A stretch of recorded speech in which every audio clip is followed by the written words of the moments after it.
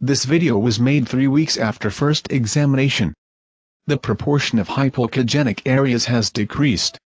The vascularization is a bit greater compared with first examination.